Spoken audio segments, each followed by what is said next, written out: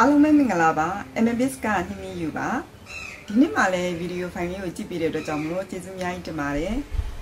ဒီနေ့မိတ်ဆက်ပေးခြင်းတဲ့သင်ခန်းစာကတော့အရှိအနောက်အပေါ်အောက်စတဲ့နေရာဒီနေရာနဲ့လာရတွေပဲဖြစ်ပါတယ်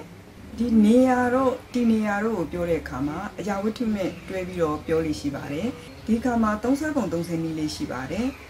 ဒါကတော့ အရာဝတ္ထုရဲ့နောက်မှာနော့ကိုခံပြီးတော့သူ့နောက်မှာနေရာလိုက်ပါတယ်အရာဝတ္ထုနော့နေရာဆိုပြီးတော့သုံးလို့ရှိပါတယ်ဒါဆိုရင်အရင်ဆုံးမိတ်ဆက်ပေးခြင်းတဲ့စကားလုံးကတော့နကာနကာအဓိပ္ပာယ်ကတော့အထဲဆိုတဲ့အတွက်ကြောင့်မလို့ဒီမှာအဲပုံးထဲမှာပုံးဆိုတဲ့အရာဝတ္ထုရှိပါတယ်ပုံးထဲလို့ပြောကြည့်ရင်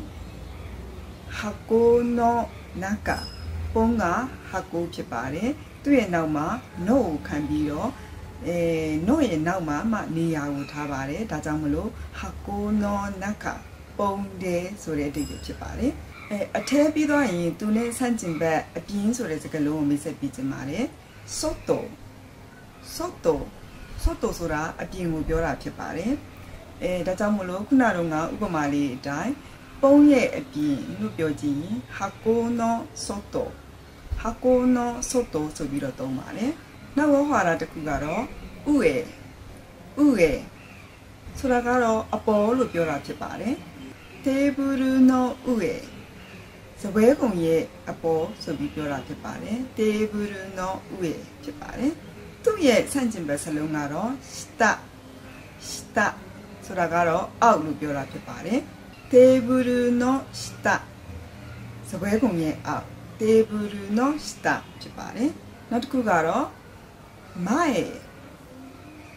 前ဆိုတာကတော့ရှေ့ကိုယ့်ရဲ့ရှေ့ကိုမျက်နှာမူနေတဲ့ဘက်ကိုမရဲ့လို့ခေါ်ပါတယ်ဥပမာအနေနဲ့ပြောမယ်ဆိုရင်ဝါတာရှိနောမရဲ့ကျွန်တော်ရဲ့ရှေ့ဆိုတဲ့အဓိပ္ပာယ်ဖြစ်ပါတယ်သူနဲ့ဆန့်ကျင်ဘက်စကားလုံးကတော့ဥရှိတော့ဥရှိတော့ဆိုတာကတော့နောက်ကိုပြောတာဖြစ်ပါတယ် ဥပမာစာကြောင်းကတော့ဝါတာရှိနောဥရှိတော့ဒါဆိုရင်ကျွန်တော်ရဲ့နောက်ဆိုတဲ့အဓိပ္ပာယ်ဖြစ်ပါတယ်နောက်စကားလုံးတစ်ခုကတော့ဆိုဘဆိုဘဆိုဘဆိုတာကတော့ဘေးဘက်မှာလို့ပြောတာဖြစ်ပါတယ်ဥပမာခရမနောဆိုဘခရမနောဆိုဘ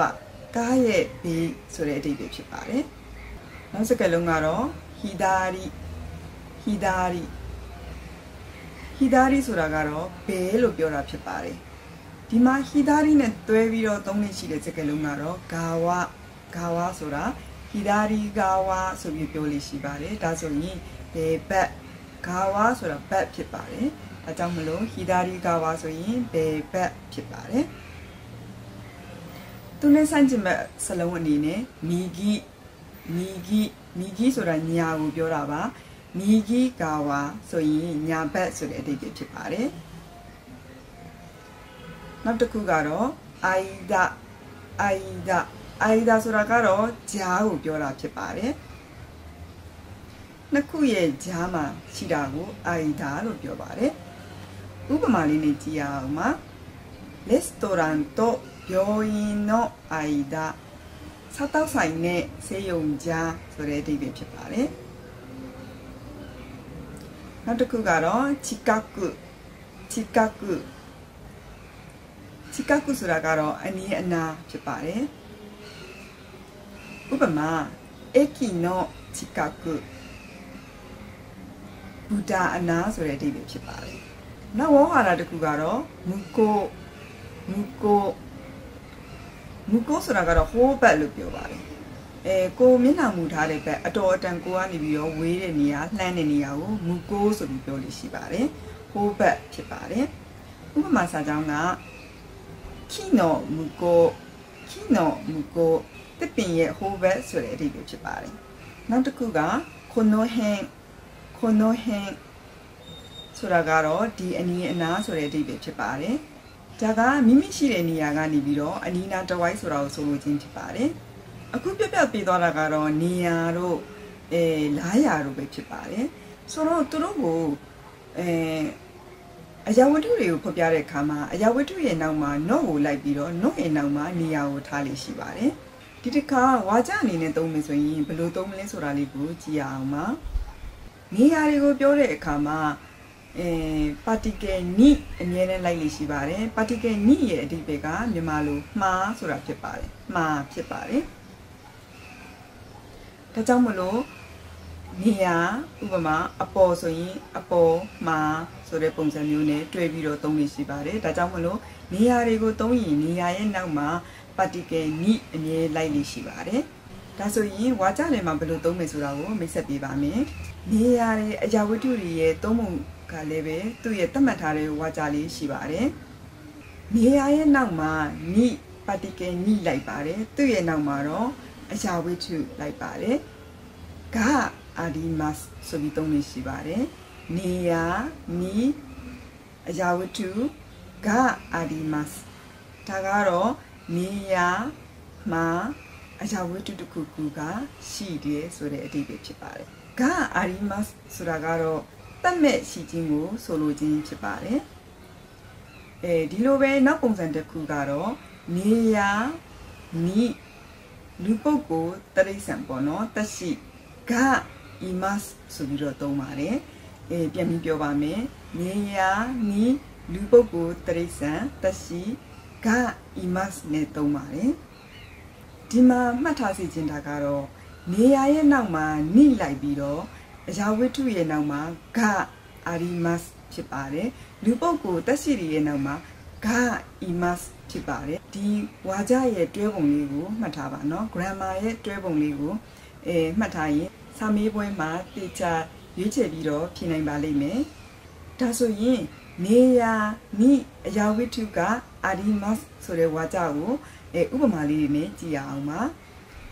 冷蔵庫の中に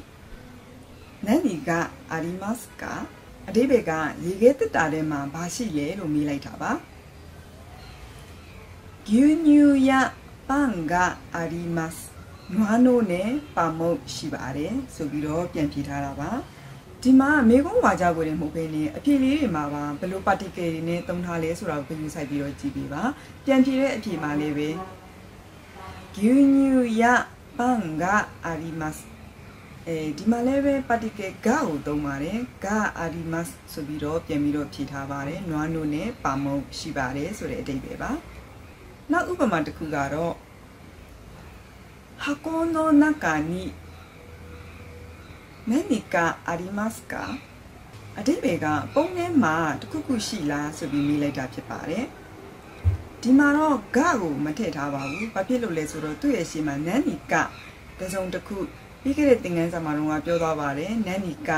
တခုခုဆိုတဲ့အဓိပ္ပာယ်ဖြစ်ပါတယ်သူ့ရဲ့နောက်မှာတော့ဂကိုမထည့်လေးပဲရပါတယ်ထည့်လေးရပါတယ် ဒါကြောင့်မလို့ဒီမှာတော့ဂကိုမထည့်ထားပါဘူးဖြေလေးကိုကြည့်ရအောင်ပါနန်းနီမို့အာဒီမာဆင့်နန်နီမို့ဆိုတာလည်းပြီးခဲ့တဲ့သင်ခန်းစာမှာတော့ငါမိတ်ဆက်ပေးပြီးသားဖြစ်ပါတယ်ဘာမှဆိုတဲ့အဓိပ္ပာယ်ဖြစ်ပါတယ်နန်နီမို့အာဒီမာဆင့်ဘာမှမရှိဘူးဆိုတဲ့အဓိပ္ပာယ်ဖြစ်ပါတယ်ဒါဆိုရင်နောက်ဘွားကြတစ်ခုနေယာနိအဲတက်ရှိကအီမတ်ဆိုတဲ့ဝါကြကိုကြည့်အောင်ပါ あそこに山田さんがいますဟိုမှာ山田さんရှိတယ်ဆိုတဲ့အဓိပ္ပာယ်ဖြစ်ပါတယ်ဒီမှာ山田さんဆိုတာလူပုဂ္ဂိုလ်ဖြစ်တဲ့အတွက်ကြောင့်မလို့がいますနဲ့တုံးထားပါတယ်この動物園に象がいますかဒီတလိษံယုံမှာဆင်ရှိလားဆိုပြီးမေးလိုက်တာဖြစ်ပါတယ်